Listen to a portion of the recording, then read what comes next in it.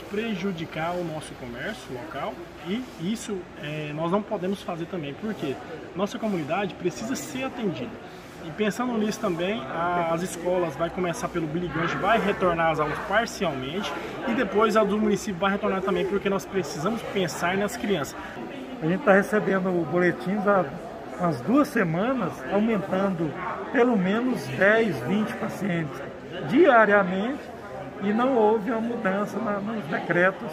é, municipais. Então a gente veio conversar com o BAN e a, apoiar justamente isso e cobrar do município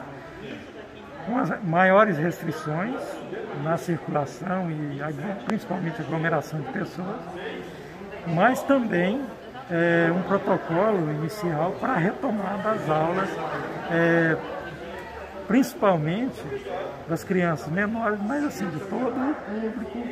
é, de, de, alunos aqui de Nova Chavantina, desde que montado um protocolo seguro, né, com gradativo, ou seja, vai voltando aos poucos, eu realmente não posso prever o resultado do, do prejuízo que essas crianças e adolescentes estão tendo. Fora de sala de aula, às vezes em casa, é, ociosas, um uso é, excessivo de celular, de aparelho celular, principalmente,